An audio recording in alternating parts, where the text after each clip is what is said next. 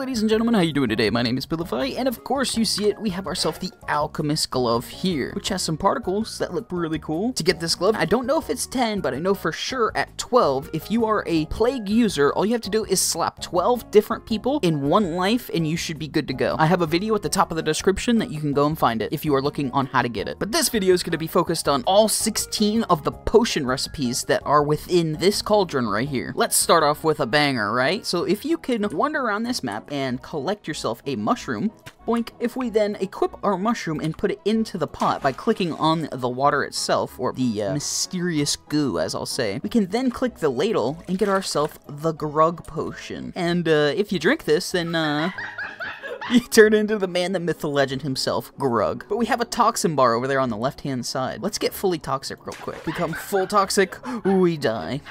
Don't be drinking too many potions or that will happen. So the next potion for us to grab is going to be the Nightmare Potion, which requires three dark roots. And if you're wondering what the dark roots look like, they are these little black twigs that are sticking out of the ground. And this recipe is very simple. All you're going to do is just take three of these dark roots right here. One, two, three, until you get this deep navy bluish kind of blue. And then once you're here, just click the ladle and you got yourself a nightmare potion. And if you know anything about the gloves of this game, you know exactly what this potion's about to do.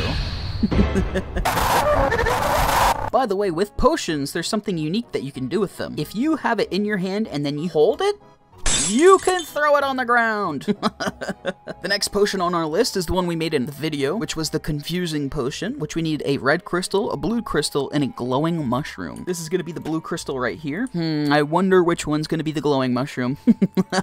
that is our glowing mushroom, and now we just need ourselves a red crystal, which it was hiding behind a mushroom. Alright, so now let's go back over to our cauldron, take our blue crystal, our red crystal, and our glowing mushroom, and when we add that up, we have ourselves a confusing confusing potion. And do you know what this does? If you know the gloves, then you know that it's gonna do... Oh. I don't know why I did that again.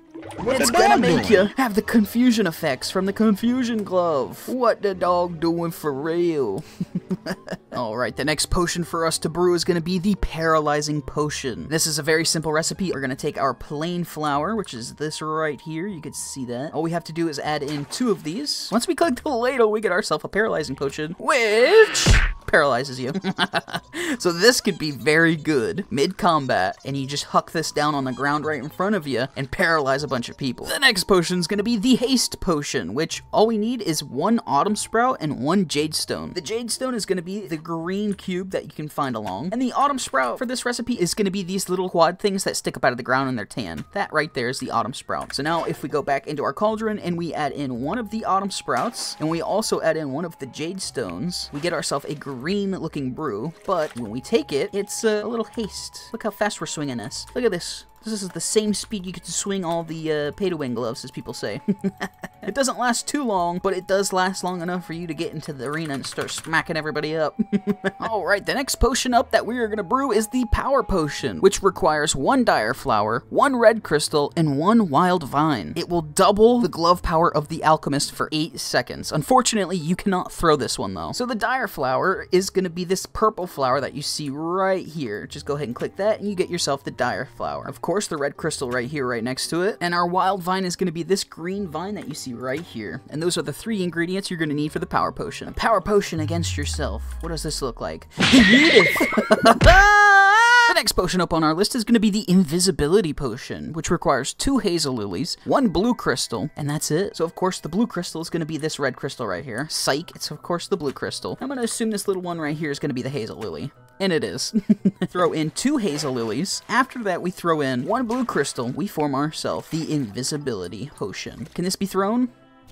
Yes, yes it can. You can make everybody invisible.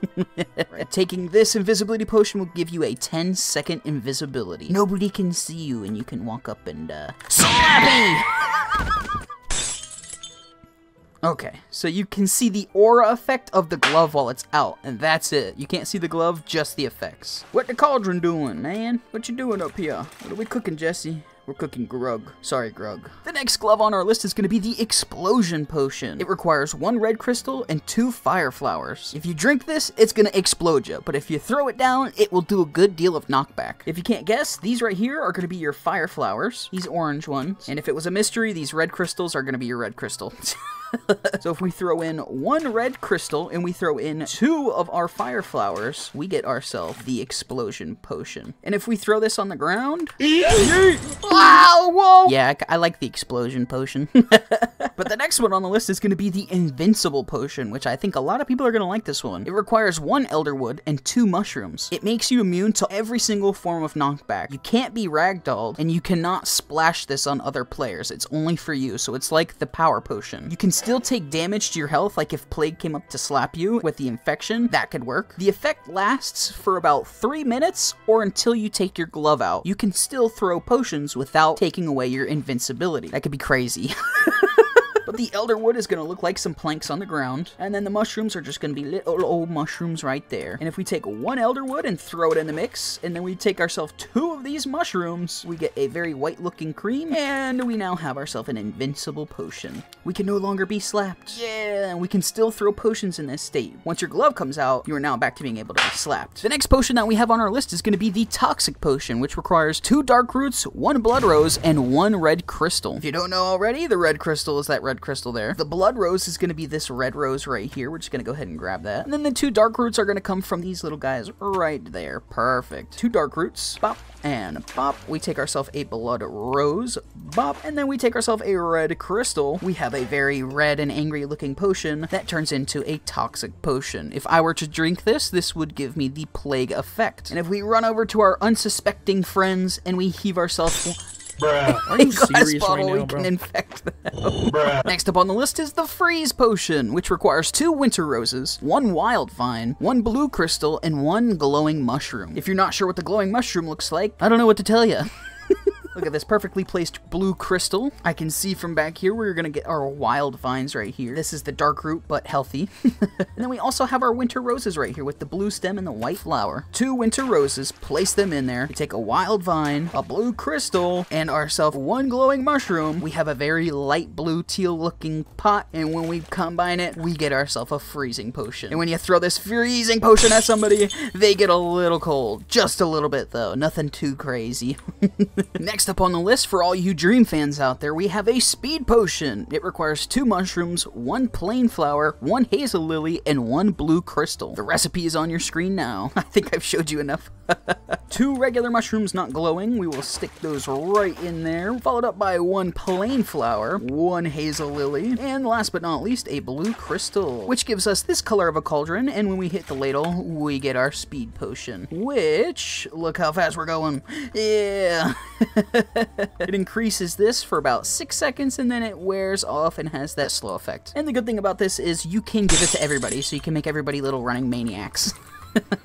the next potion on the list, I believe, is going to be a fan favorite, the Lethal Poison Potion. And this one is going to be quite hard to get, but it's going to be very rewarding. It requires 10 Blood Roses and 10 Dark Roots. So we have our Dark Root right here, and our Blood Rose right here. We need to collect two of those, so one each, which honestly isn't too bad. Four things to get this. So 10 Blood Roses and 10 Dark Roots and we get ourselves the lethal poison potion, which kills any player it comes into contact with. Yeah, throwing this lethal potion is kind of lethal.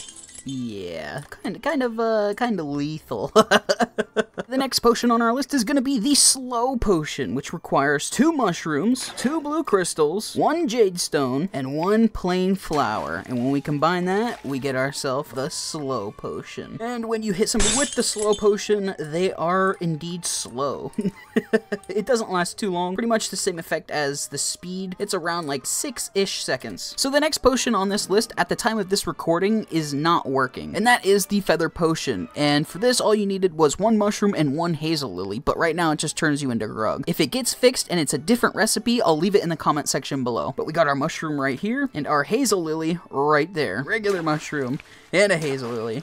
And we got a Grug potion, yeah. So this should give you a feather potion in the future, but for right now it just turns into Grug. And last but not least, the 16th potion on our list is going to be the Antitoxin potion. The Antitoxin is used to remove any of the plague effect if you have it on you. So if a zombie comes up and slaps you, if they have that plague effect, or if somebody has the plague glove, you could use this Antitoxin potion to remove that effect. It will also reset your toxin meter. So, for example, if we were to get a Grug potion real quick and turn in- oh, well, well alright, I gotta stop doing that. if we get a grug potion and take it, we have a little bar on the left with that toxin bar. The antitoxin potion will remove all of that green that you see there. But the antitoxin potion is one elderwood, one glowing mushroom, one of these blue crystals, and two plain flowers. When you go to throw everything in, like the blue crystal, the glowing mushroom, two plain flowers, and one elderwood, it gives you back a paralyzing potion right now. But that's all the recipes, so I'm gonna have a guide that you can kind of screenshot if you'd like, so that you can pull it up on your screen or something, or on your phone or something while you're playing the game, and have a quick guide. I will drop a counters video for this, just due to the fact that there are some gloves that we're gonna have to, uh, or there are some potions that we're gonna have to, you know, get finicky with. Hopefully this guide helps you out for all the potion crafting you'd like to do. Other than that, I hope every single one of you have a great rest of your day or night whenever you do end up watching this, and I shall see you in the counters. Later!